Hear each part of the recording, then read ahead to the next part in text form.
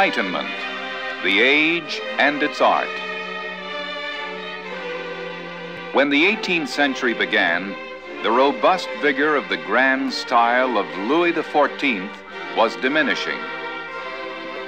By the end of the 18th century, America and Europe were caught up in the passions of revolution, which were to end three centuries of absolute monarchy. The Enlightenment grew out of the age of Louis in the 17th century and led to the era of revolutions at the end of the 18th century. To understand the Enlightenment as a style of life and of art, we must understand its heritage and foundation in the Baroque. The grandiose Baroque style of the 17th century, its flamboyance, and drama gave way in the 18th century to the light-hearted Rococo.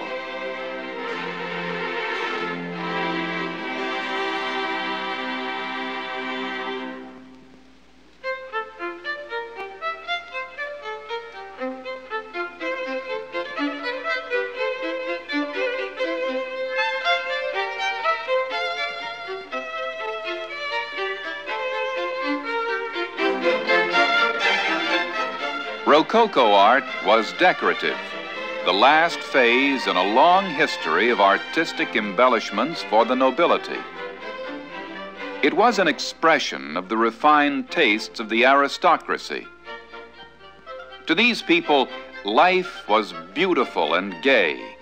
They wanted more than anything to enjoy themselves, to give pleasure to their friends and to collect the luxurious objects which made them feel gay, rich, and important.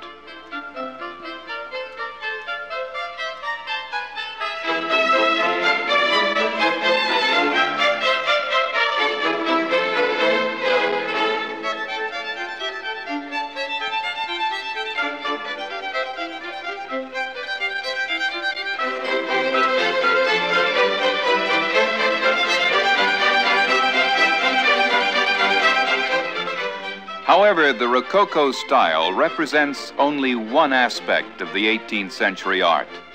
Some of the most important ideas of the time were not expressed by the Rococo style.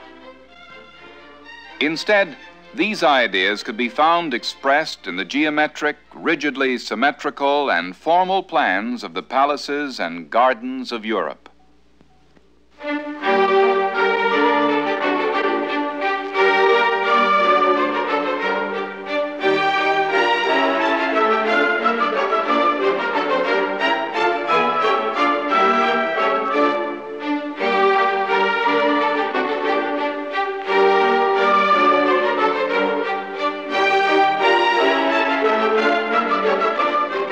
Artistic father for these splendid palaces and gardens was the greatest palace of the 17th century, Versailles. Louis XIV made Versailles into a splendid stage for his personal theatrical production, The Absolute Rule of France. Dazzling in their vastness, the palace and grounds were planned in such a way that King Louis seemed to be imposing geometric order upon his world.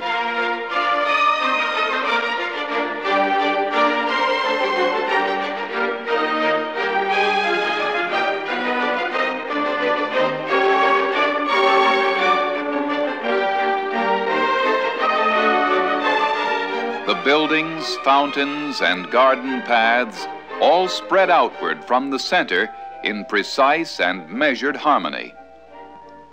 In every foot of their manicured hedges, the grounds of Versailles express the idea that man controls his world through reason and intellect. What greater control over nature could man demonstrate than this? It is a garden of tropical orange trees, all planted in pots so that they could be brought indoors in cool weather. This indeed was man creating an orderly universe.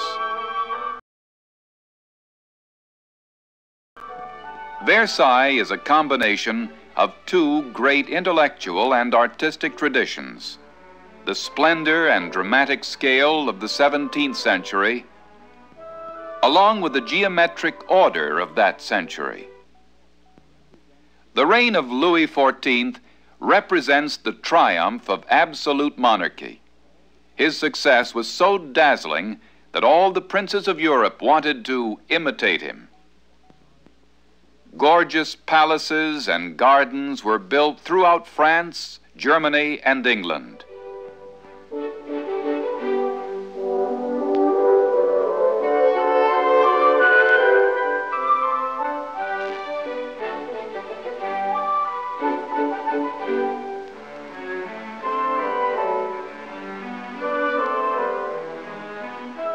The aristocracy of all of Europe spoke French and followed French customs and dress. They sponsored whole armies of artists who could make gorgeous objects like those they had seen at Versailles.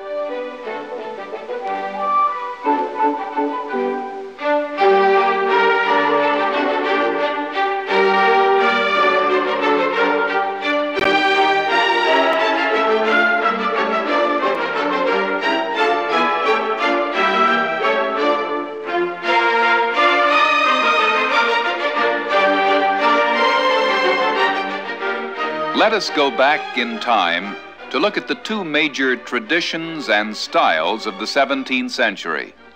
The Baroque vision of the world expressed itself with an art that was dramatic, flamboyant, dynamic, stupendous in scale, and filled with restless, swirling, curving, and diagonal forms. Another face of Baroque art in the 17th century was turned toward a world of calm intellect and order. On the left is the painter Peter Paul Rubens, and on the right is another painter, Nicolas Poussin.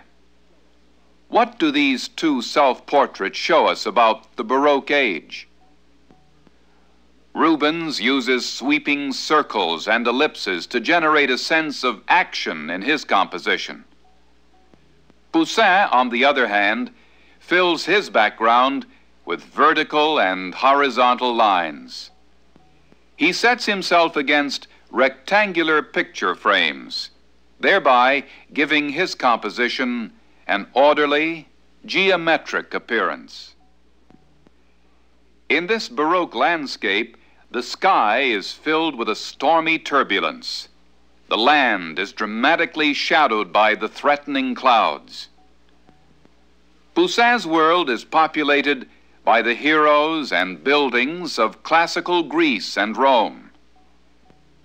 His landscapes are calm, reasonable, and orderly. Is this not nature succumbing to the artist's rational control? It was the dramatic and flamboyant in the Baroque which developed into the Rococo style. On the other hand, the world view of intellect and order was also carried on into the Age of Enlightenment. During the 17th century, great discoveries in the sciences opened up new areas of knowledge. Galileo, the astronomer, built a telescope in 1609. With it, he could see that the planets had substance, like the Earth, and that the stars were much farther away than man had thought. Isaac Newton explained all movement on the Earth and in the heavens according to a mathematical formula. In this way, the rigid order of a mathematical proof was imposed on human existence. The 17th century scientists made the discoveries. It was for the 18th century writers known as philosophes like Denis Diderot, Jean-Jacques Rousseau,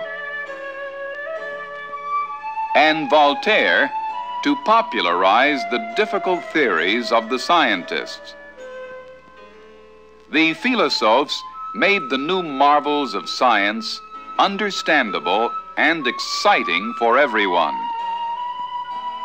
One of the most significant accomplishments of the philosophes was the publishing of an encyclopedia. Denis Diderot was the editor.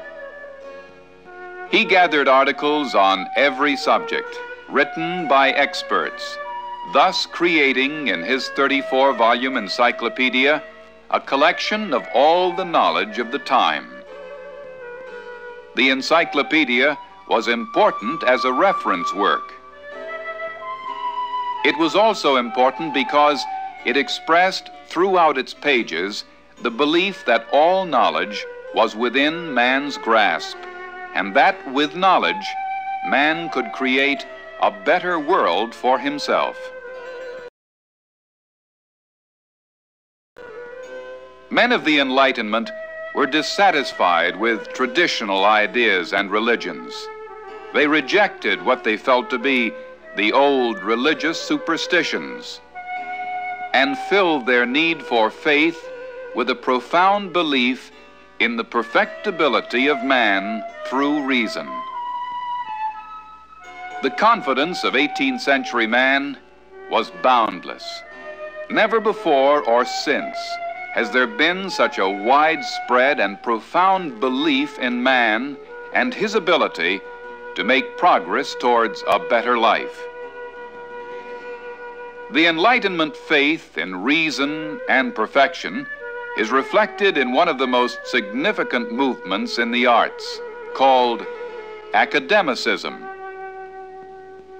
Academicism included a respect for authority artists and architects relied upon rules and principles that were rigidly enforced by the heads of the academies in England and France.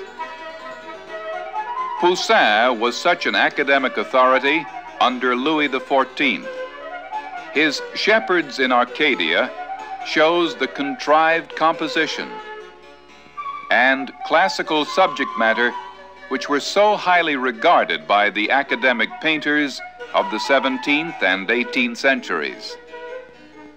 Obviously, the most important yardstick for the French academics was the art of classical antiquity, the art of the ancients. The civilization of the Greeks and Romans was looked upon as a model and was translated into formulas for art. Nature was seen mainly through the eyes of classical reason and order. Joshua Reynolds, a famous English painter of the 18th century, wrote, We must have recourse to the ancients as instructors. It is from a careful study of their works that you will be able to attain to the real simplicity of nature. We have seen that 18th century aristocrats encouraged a love of luxury. To satisfy them, artists created works of beauty and gaiety in the Rococo style.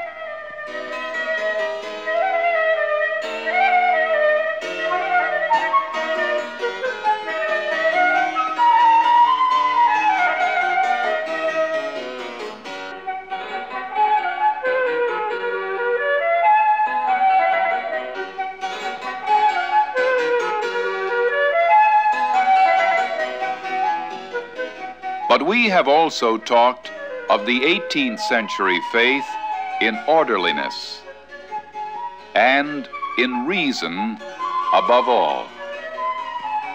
18th century philosophers viewed the world as a perfectly working machine, like a fine clock.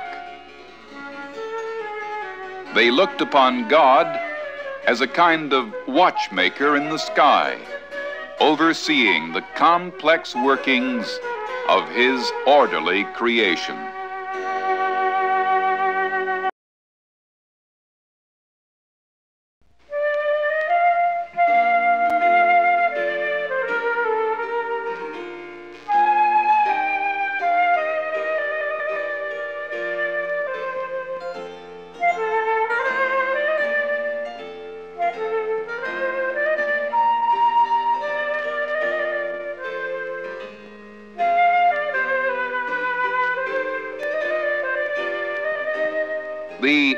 Enlightenment, the Age and its Art.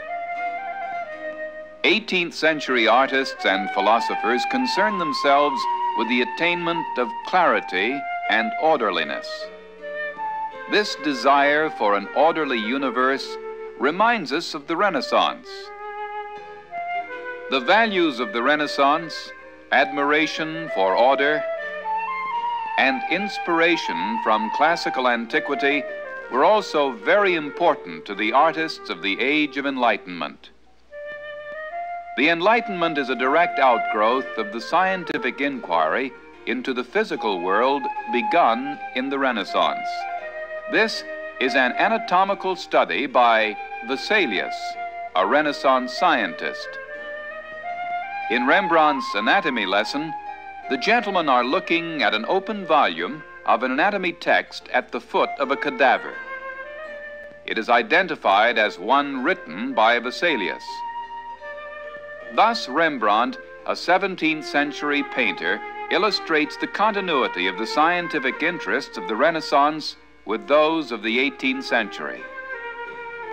The spirit of scientific inquiry in the Enlightenment reached extreme limits when an elegant 18th century lady kept a cadaver in her carriage to study anatomy in her spare moments. To Enlightenment artists, the Renaissance served as model and formula. Raphael was particularly respected. His classical subjects and use of geometric perspective and symmetry appealed to the system loving intellects of the Enlightenment. The spirit of the Enlightenment, in its balance and symmetry, is reflected in Newton's third law, which says that to every action there is always opposed an equal reaction. It is no coincidence that Montesquieu, an 18th century philosopher, called for a symmetrical government of checks and balances. This was the logical outcome of faith in man's reason and of the reaction against the unbalanced, powerful, absolutist monarchies of Europe. The political and scientific ideas of the Enlightenment were discussed and debated in the fashionable salon, the 18th century equivalent of the modern cocktail party.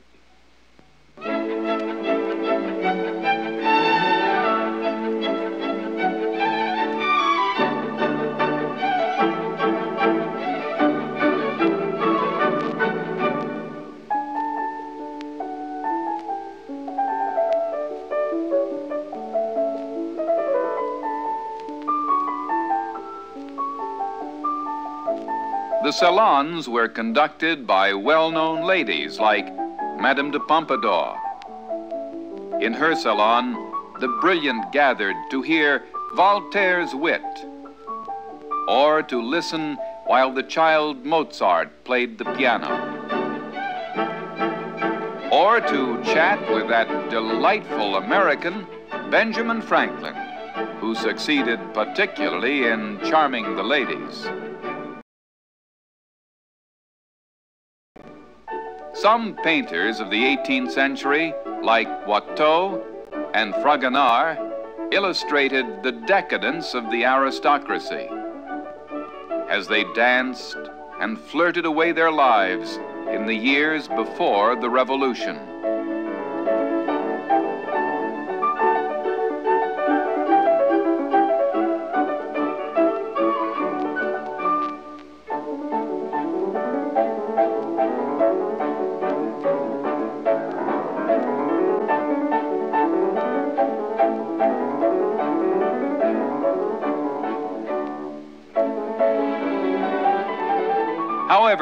Many of the intellectuals and artists of the period held an increasing interest in the middle and working classes. These painters, like Chardin, avoided the frivolous, decorative style of the Rococo. They chose instead clear and simple compositions, selecting charming middle-class children as their subjects.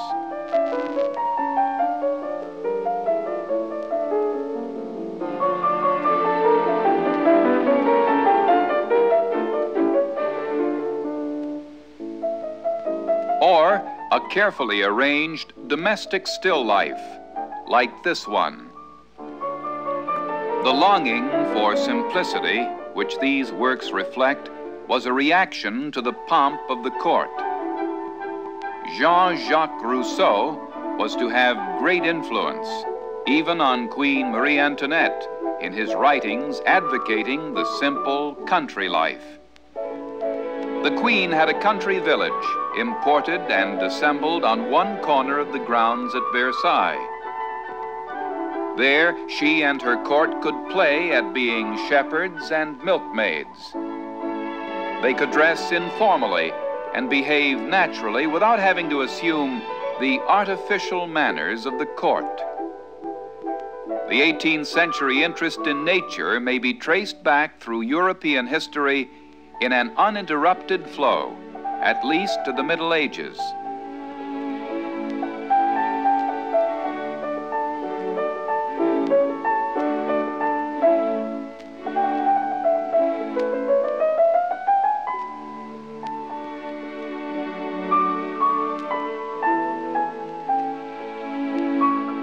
However, 18th century artists, as artists of all periods, looked upon nature in their own way.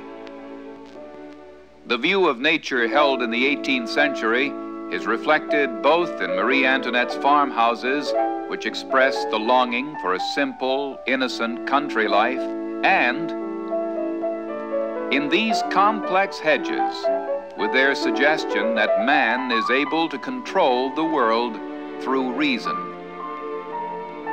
During the Renaissance, artists sought to control their world through the use of perspective. This pursuit of an orderly mathematical universe comes to full flower with the scientific theories of Newton on one hand and these clipped hedges on the other.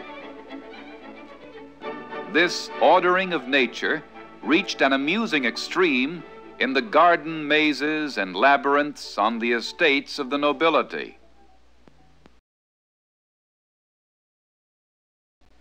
Not all mazes were in gardens, however. The love of intellectual puzzles in the 18th century could also be found in the complex musical compositions of the times. An example of this is the chamber music composition called The Musical Offering it was written by Johann Sebastian Bach for King Frederick the Great. Frederick was King of Prussia and played the flute rather well. He composed a flute theme and gave it to Bach, asking him to write some variations on it. Bach, like Diderot, had an encyclopedic mind. He used all kinds of musical language to write his musical offering. He began with Frederick's flute theme.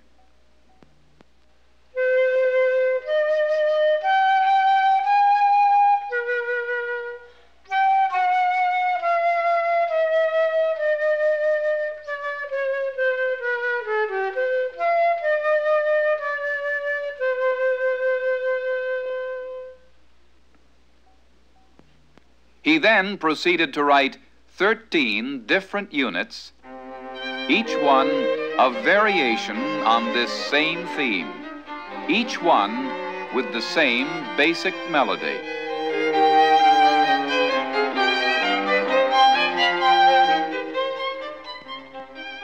But each one quite different from every other. They are a series of brilliant intellectual inventions. Let us listen again to Frederick's theme which opens the musical offering, and then see what Bach does with it.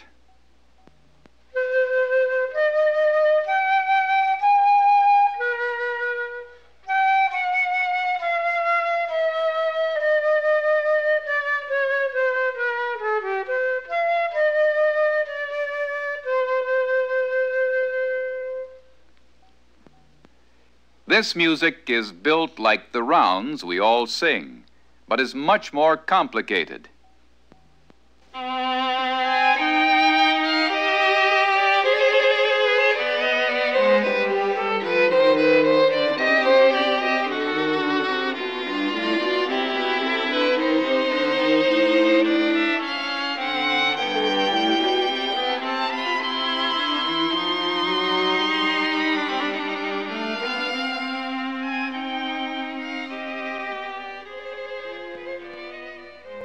Musicians describe these techniques with words like fugue, canon, or ricercar. The word fugue means chase, and we can hear the melody being chased by the same melody only played a little later and by a different instrument.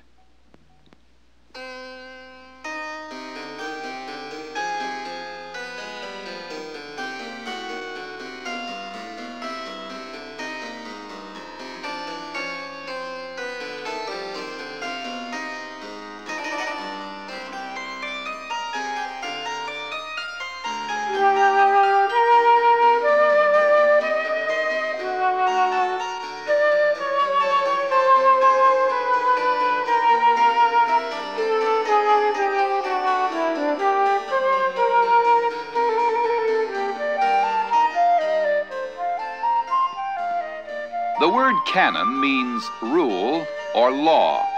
The whole composition is a skillful use of musical rules in a variety of ways.